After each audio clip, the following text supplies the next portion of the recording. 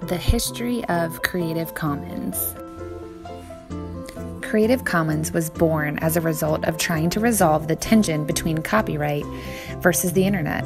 Copyright restricts sharing, yet the internet encourages it. The Sonny Bono Copyright Term Extension Act was enacted in 1998 and extended the term of copyright for every work in the U.S. for an additional 20 years, which meant the copyright term equaled the life of the creator plus 70 years. Lawrence Lessig, a Stanford law professor, thought the law was unconstitutional because the end of the copyright term meant that the work could finally be public domain for anyone to use without permission.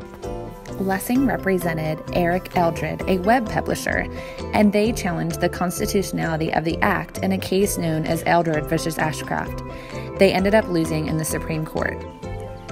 Lessig and others came up with an idea to make creative works more freely available on the internet, and they created a nonprofit organization in 2002 called Creative Commons. These Creative Commons licenses are intended to be used by creators across the globe as a way for them to share in ways that are consistent with copyright and allows them to share on flexible terms.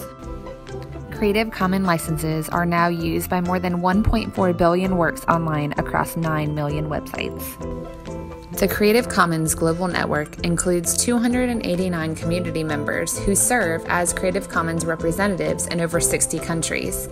This community works together to realize shared values and build relationships around the world.